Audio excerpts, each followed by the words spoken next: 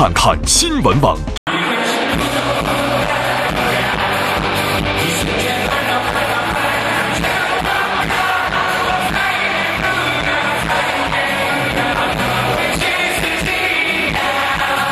四月六日晚，五月天 Just Love It 慈善演唱会在上海梅赛德斯奔驰文化中心举行，刘若英、MP 魔幻力量、佳佳悉数助阵。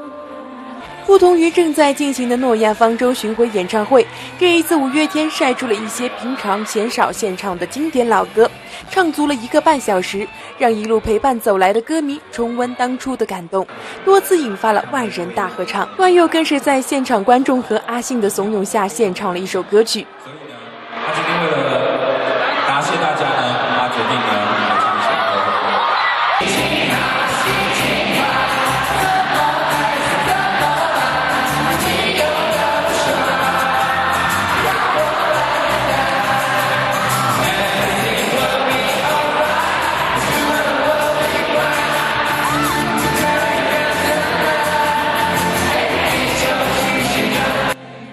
了让演出更具意义，五月天特别参与到新华爱心教育基金发起的“捡回珍珠”计划中，呼吁大家关爱贫困特优生群体，为这些家庭特困、学业特优的珍珠生创造继续上学和继续追梦的机会。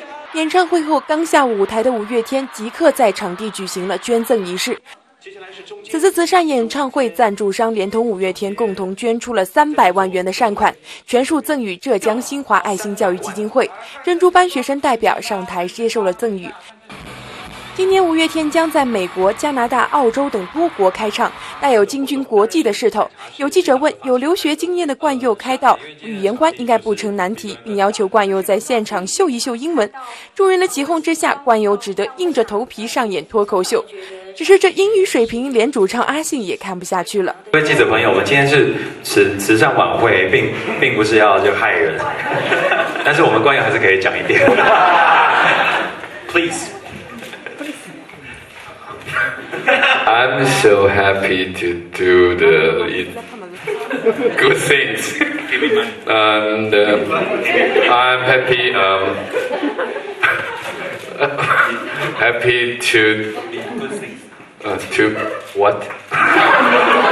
to be Be good, good, good man. uh, yeah yeah I'm uh, Give me money. the, uh, yeah give it's not give me money give this money and uh, Give your love。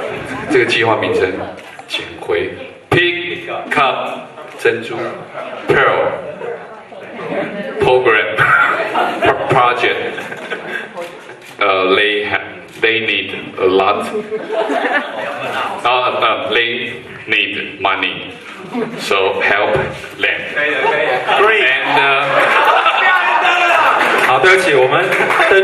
国际的计划已经第一步就触礁了，对对不起。